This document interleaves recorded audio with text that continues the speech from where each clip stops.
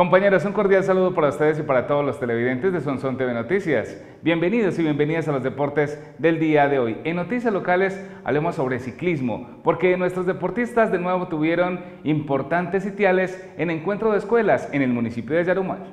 Sonson logró una nueva figuración en el ciclismo departamental con una buena actuación en el encuentro de escuelas realizado en Yarumal, norte de Antioquia. Bueno, sí, eh, estuvimos participando en el municipio de Yarumal en el encuentro de escuelas y clubes, primer Challenger del año. Eh, estuve participando con siete deportistas, eh, con un balance pues positivo. Eh, este evento estaba conformado por dos etapas, una contrarreloj y gincanas y al otro día una etapa en línea, logrando el primer día en la prueba de contrarreloj y gincanas un segundo puesto con el joven Marcelo Garzón, eh, un tercer puesto con Sara Trujillo y ya en la general, la general total de, la suma de los dos eventos, logrando en la general un tercer puesto con la joven Yalesa Valentina Marín y un segundo puesto en la categoría preinfantil con el joven Simón Trujillo y un tercer puesto en la misma categoría con el joven eh, Carlos Moreno Matos. Los más chicos siguen reafirmando su buen momento. En la categoría preinfantil, Carlos Moreno y Simón Trujillo lograron podio. Dura, bastante dura la última etapa.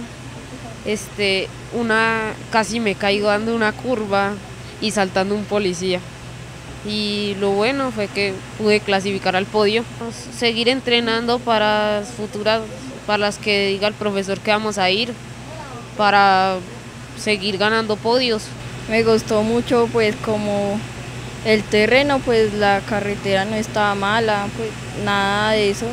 No, pues hay que dedicarse mucho como al entreno y, y no faltar para poder hacer una, una mejor competencia.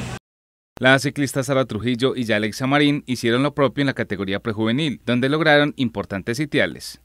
Muy feliz porque inicié pues en la categoría prejuvenil eh, con un tercer puesto en la contrarreloj individual.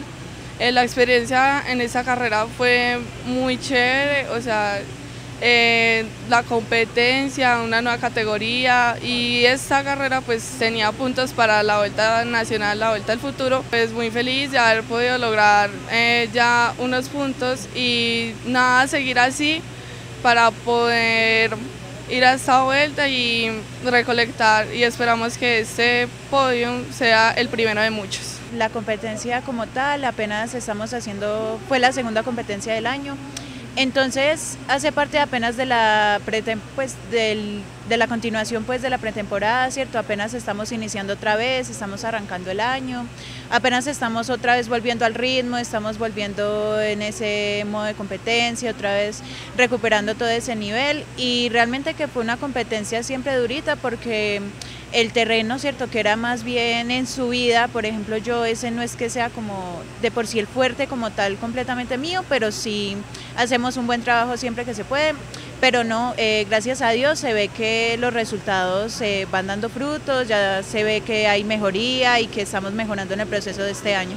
Durante el mes de mayo, la ciclista de Alexa Marín viajará a Cali a representar a Antioquia en los Juegos Nacionales Supérate, competencia que tenía pendiente desde el año 2022.